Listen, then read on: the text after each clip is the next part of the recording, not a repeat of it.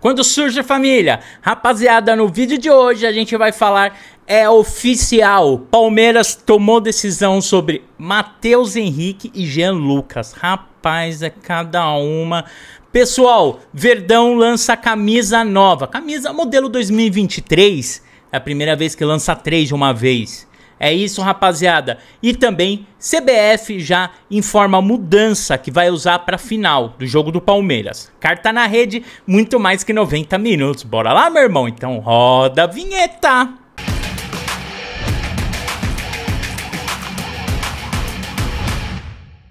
Ah, graças a Deus. Salve, salve porcada, como vocês estão, rapaziada? Eu tô muito bem e é com muita palestrinidade que a gente vem para mais um vídeo.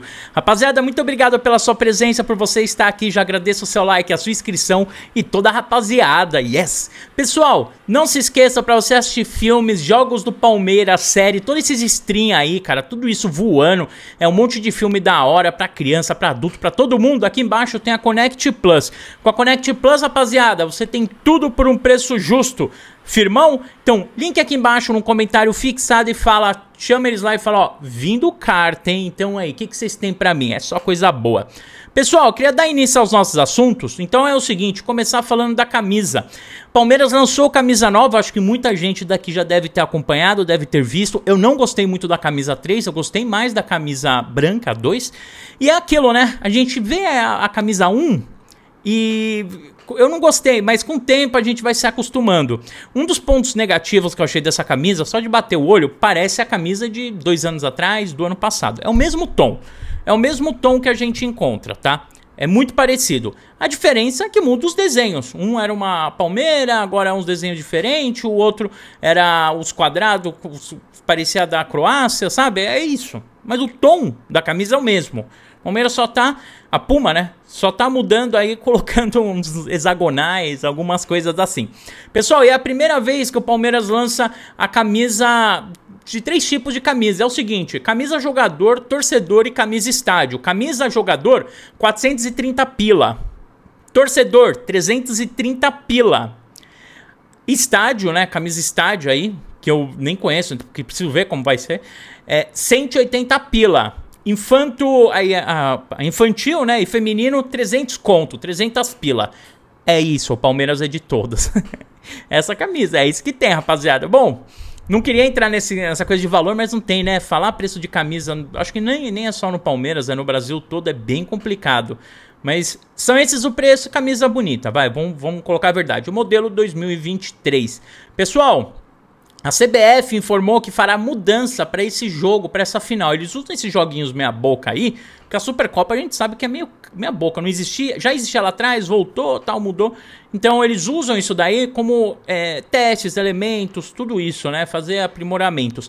Então é o seguinte, eles vão mudar aí o VAR, eles vão colocar a linha do VAR de vídeo mais grossa, assim como é utilizado na Premier League. Sabe qual é a mudança? Sabe o que a gente vai ganhar com isso? Não sei, velho. Acho que a linha mais grossa, não sei. Vai colocar o, o, o que? O pé do cara vai ficar em cima da linha e vai considerar posição legal, é isso? O gol do Dudu do último, do último da última semana aí, o gol contra o São Paulo, né, que acabou rolando, que os caras anularam o gol do Rony, é, quer dizer que estaria valendo, é isso? É, então, rapaziada, é isso. A mudança entrou, vai entrar em vigor agora e vamos aguardar para ver o que, que eles vão conseguir fazer de diferente aí.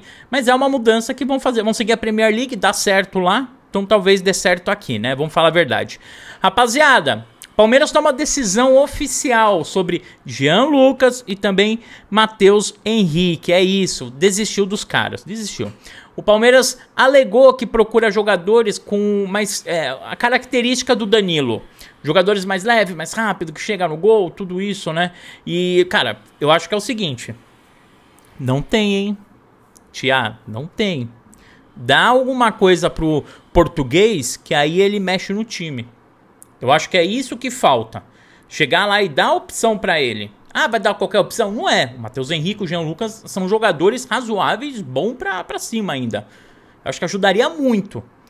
Eu acho que é o seguinte: cortina de fumaça. É isso. Eu já tinha, eu já tinha dito isso, isso do Claudinho, já tinha dito isso de outros jogadores, e agora eu reforço com esse daí que veio.